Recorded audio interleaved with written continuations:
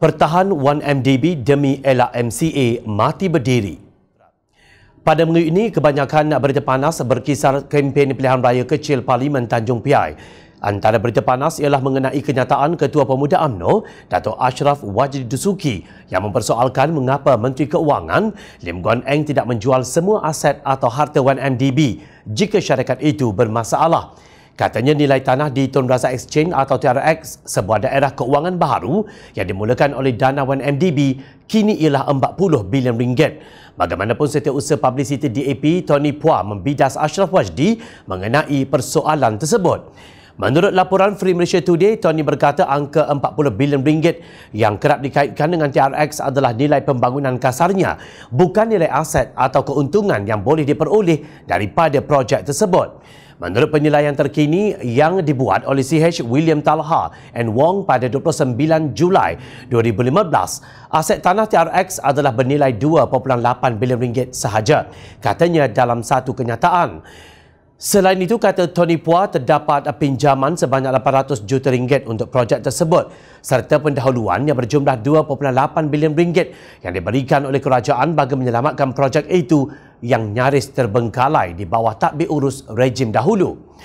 Oleh demikian, penjualan aset tanah TRX tidak akan dapat menyelesaikan masalah skandal hutang 1MDB sebanyak 50 bilion ringgit akibat penyelewengan dan salah guna kuasa oleh AMNO dan Barisan Nasional katanya.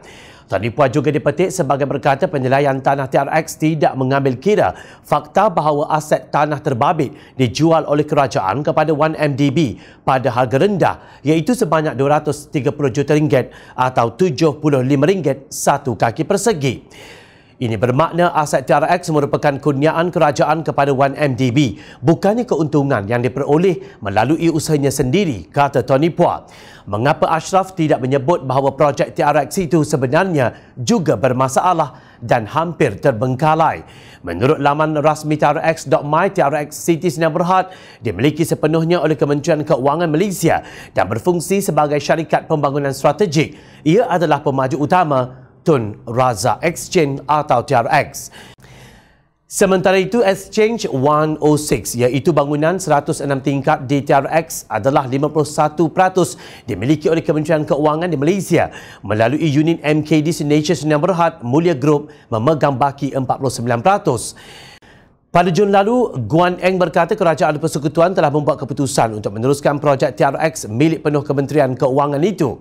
Menurut laporan tersebut, lebih daripada 3 bilion ringgit dana kerajaan persekutuan untuk TRX City Senang Berhad telah diselewengkan oleh 1MDB. Keputusan untuk meneruskan projek TRX berkenaan adalah demi menjana kembali segala dana yang telah diseleweng serta membayar balik semua pinjaman lama dengan mengambil kira kos peluang dan pelaburan yang telah dibuat, kata Guan Eng dalam satu kenyataan. Jadi siapakah pemilik sebenar TRX? Sedangkan kita difahamkan 1MDB sudah muflis. Maknanya jika TRX kini milik Kementerian Keuangan Malaysia, ia milik pembayar cukai iaitu rakyat Malaysia.